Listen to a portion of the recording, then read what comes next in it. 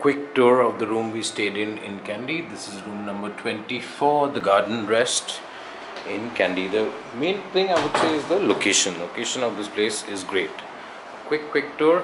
This is the window. This is, in fact, this room is in the basement, by the way. So let me tell you that as well. There's a mirror, and you can see me there. And these two double beds. In fact, they're good enough for three people. If you can see, this is good enough for two, and this is good enough for one.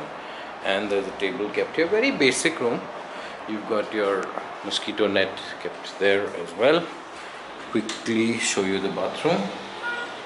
There you go. Not the best, not the cleanest for sure.